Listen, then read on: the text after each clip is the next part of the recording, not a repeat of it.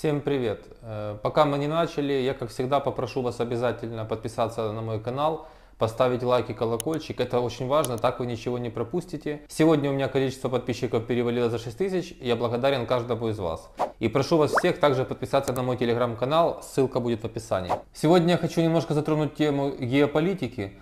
Э, Я обычно стараюсь не комментировать такие вещи, но просто сейчас такой информационный поток и такие новости, и вообще такой случай, что это может напрямую коснуться и нашей страны. Байден э, вчера резко э, довольно-таки высказался и сделал это открыто. Это не какие-то инсайдеры передали эту информацию, это сказал Байден лично. Я знаю, что многие люди думали, что я, возможно, преувеличиваю, но я знал и у нас были данные в подтверждение, что Путин перейдет границу. Не было никаких сомнений, и Зеленский не хотел этого слышать, и многие люди тоже. Он признал, что возможность полномасштабного вторжения России многим могла казаться надуманной. Я понимаю, почему они не хотели этого слышать. Но я не понял, почему, многие не хотели, почему он понимает, что многие не хотели этого слышать. Например, я не понимаю. Э, Я вам скажу, как я расцениваю это заявление Байдена. Мне кажется, это связано с многочисленными выходами в информационное поле чиновников с нашей стороны, и Зеленский, и другие высокопоставленные люди из Украины, э, они выступали, что давайте быстрее нам оружие давайте, оружие едет медленно, а нужно нам оно немедленно и в неограниченных количествах там, и так далее. А Байден, наверное, я так вижу, этим хотел сказать, что ребята, я же вас предупреждал, так почему вы раньше не готовились? Почему вы сейчас кипишуете и начинаете обвинять весь мир в том, что вам не хватает оружия, когда я вас там за несколько месяцев до начала вторжения Путина об этом предупреждал. Вот лично я так это расцениваю. Следующая тревожная новость, которая относится и к США, и к нам косвенно, значит это то, что министр обороны Китая четко, прямо сказал, если Тайвань объявит о своей независимости, мы начнем, не задумываясь, войну против Тайваня и по сути захватим его, аннексируем. При этом мы все знаем, что США, по-моему, пару недель назад выступила тоже с заявлением, что если Китай пойдет на Тайвань, то США будет защищать Тайвань. Вы только вдумайтесь, и это все не пустые слова. Какая может начаться серьезная заваруха, которая, не дай бог, может закончиться Третьей мировой войной, о чем я уже неоднократно говорил. И самое страшное в этом, э, давайте, если мы моделируем так ситуацию, и, э, не дай бог, Китай идет на Тайвань, США начинают вступаться за Тайвань, поверьте, США уже не сможет нам предоставлять много оружия, потому что им самим оно потребуется.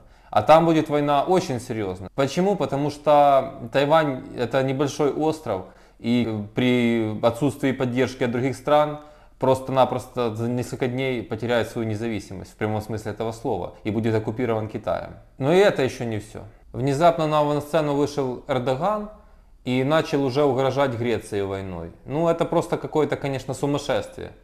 Но давайте проведем некоторые параллели из этих всех историй. Что получается в итоге? Э, Коммунисты, тоталитаризм, где полный Китай, ну, про Путина уже говорить нечего, и Эрдоган.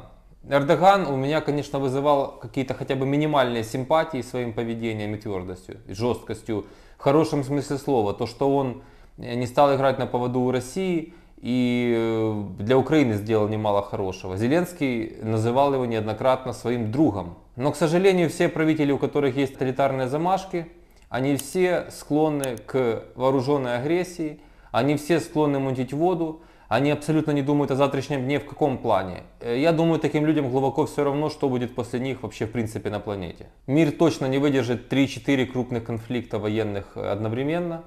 Э, Поэтому я представляю, под каким напряжением сейчас находится Байден и все высокопоставленные чиновники в США, Пентагон в целом. Потому что это уже не шутки, и каждый из нас должен этими темами интересоваться для того, чтобы иметь полную картинку происходящего и исходя из этого строить какие-то прогнозы. Некоторые темы я умышленно сейчас не хочу поднимать, потому что сейчас идет война, сейчас очень тяжелое время. Э, Но поверьте, у меня есть масса информации и мне есть что сказать. И сказать очень серьезные важные вещи. Вчера, вы знаете, я разбирал речь э, Владимира Зеленского, ну, одно из последних его ежедневных обращений, которое связано было с экономикой. Э, Многим людям это видео понравилось. И смотрите, какая ситуация происходит. Значит, э, буквально перед съемкой этого видео поступает информация, что Николай Тищенко был замечен в Праге на какой-то там вечеринке.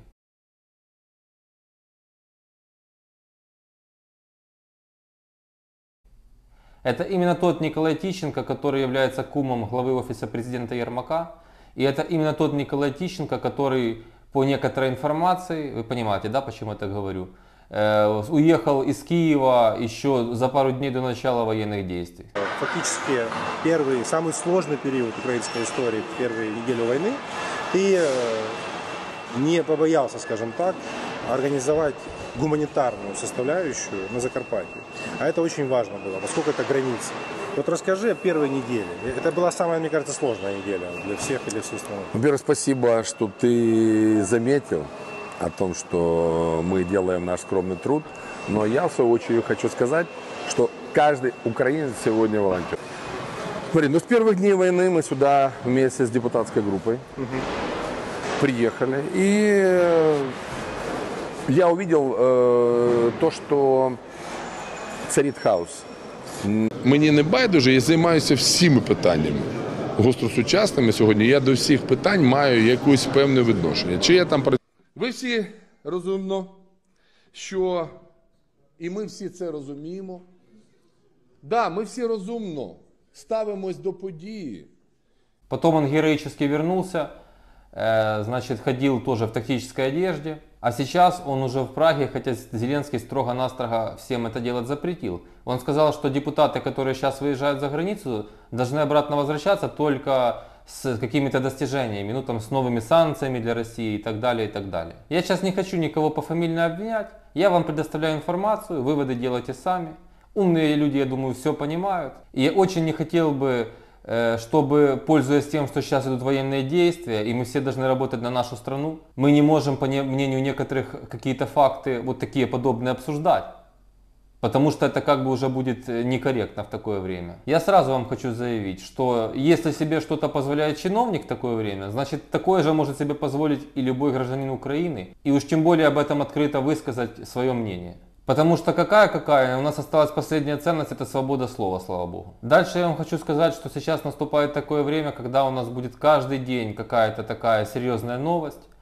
Э, ну просто потому, что мы входим в такую фазу войны и просто потому, что такое происходит в мире. В ближайшие дни, ну завтра я выхожу из бана на ТикТоке, во вторник мы планово проведем стрим на ТикТоке, в четверг тоже я планирую, обязательно и на Ютубе будут стримы. Я всех призываю обязательно подписаться, поставить лайк и колокольчик, чтобы ничего не пропустить. Пока.